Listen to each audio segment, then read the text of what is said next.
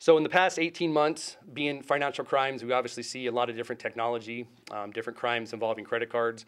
And what we have seen is a large amount of credit cards, and these are compromised from victims all over the United States. In this case particularly, none of the victims are here in Clark County. This data is taken through compromise at point of sale systems, uh, data breaches, email breaches, and criminals create credit cards, and then they obviously go and purchase things. Now, over the past 12 to 18 months, we've seen purchases at gas stations. Usually that is for 15 or 20 gallons. It is to fill a suspect's vehicle. But what we started seeing was an increase in large purchases of fuel. And when I say large, I'm talking about 100, 200, or 300 gallons using multiple cards. So once we identified this, uh, we worked with our partners and we set up uh, surveillance techniques and we identified that these vehicles that were filling up this fuel were not normal fuel trucks. They weren't big fleet construction trucks. They were modified vehicles. They were vans, they were pickup trucks, cars, flatbed trucks, vans that had modified fuel tanks. Some of them overt, external, and some covert, internal, inside the vehicle.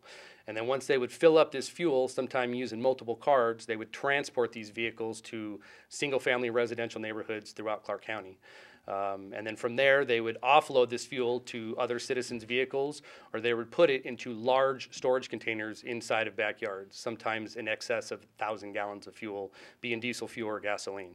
So once we identified this, we knew that this was uh, far more serious than the original financial crime, and this was a life safety problem, which is our number one priority. And please don't misinterpret. I'm in no way diminishing uh, the original crime. Anybody who's been a victim of identity theft or a credit card compromise, money stolen out of their bank, it's frustrating and they're a victim, but this is a lot more serious. So we partnered with uh, the City of Las Vegas and Clark County Fire Department, Henderson and North Las Vegas Police and Fire Department, uh, the United States Secret Service, who from the federal level uh, has an expertise in digital and electronic crimes, as well as Nevada Highway Patrol. Uh, I want to thank all of them, even though they all cannot be here today.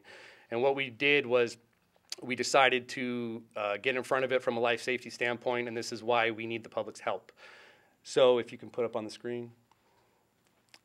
And I'll give some more information. What you see on the screen is a lot of the arrests that have made in the previous 12 months but we need the public's assistance and we need them to understand that this is not just a law enforcement problem. This is not a problem that rests with LVMPD. This is a problem that affects all citizens of Clark County. We need the public to look for certain things and we need them to be willing to call us.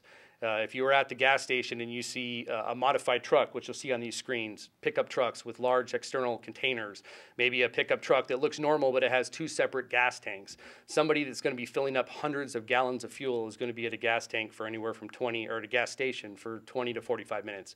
Uh, they may be using multiple credit cards. Uh, in a neighborhood, if you have a very, very strong smell of gasoline or diesel coming from a residence, or maybe you see a lot of vehicle traffic that comes and goes uh, long enough to put fuel in, and maybe uh, residents have seen actions with cars and didn't know that's what they were doing. Or maybe there's a large storage unit that became recently uh, created in a residence, uh, and the smell of fuel, uh, diesel fuel or gasoline that permeates down a neighborhood. These are very, very serious problems. You can remain anonymous. call Crime Stoppers at 702 385 5555. And if it's an immediate emergency, if there's a leak of fuel or something catches on fire, we ask that they call 311 or 911.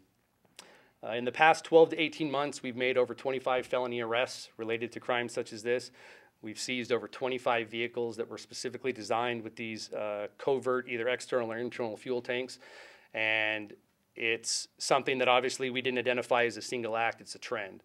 It's going to get warmer here in Las Vegas. I'm going to have the deputy fire chief speak about some of the concerns moving forward with that. Thank you. Good morning. Um, I'm going to make three, you know, just three key points that we want to talk about is that these containers are not designed for the, the purpose that they're being utilized for. These intermediate bulk containers to store flammable liquids uh, on the outsides of buildings or sometimes on the inside of residential properties, that is not their intended purpose. So um, that in itself creates a safety issue for us.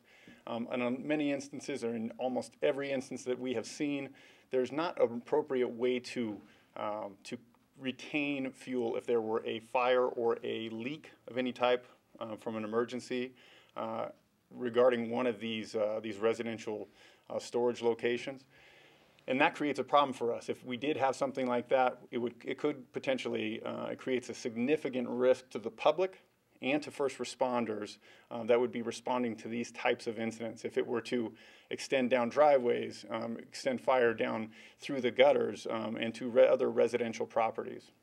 And last, that to remind the public that vapors are what burn and not the fuel, so that you can find, uh, you know, with a, with vapor as the as the temperature heats up here in southern Nevada, uh, and there's an increase of, of this vapor that moves out, it could find an ignition source far away from uh, the location being stored.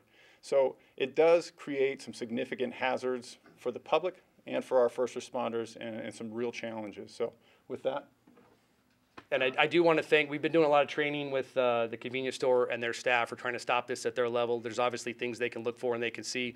We've worked with uh, the gas stations, the fuel companies. Uh, Terribles is gracious enough to put a 30 second spot on the video screens at the gas pumps to show a lot of the pictures that you guys have already seen to assist the citizens and who to contact and what to look for. And so I want to thank them and you can play the video. Hey everybody, look closely. We're all getting ripped off. All these trucks and vans behind me are dangerously modified to steal gasoline. Thieves are hiding gas tanks in the back of pickup trucks, vans, then they're using clone credit cards to go out and purchase gasoline from our local gas stations. Our detectives have already busted dozens for this crime. This is a dangerous and possibly explosive crime. Help us put these fuel thieves out of business.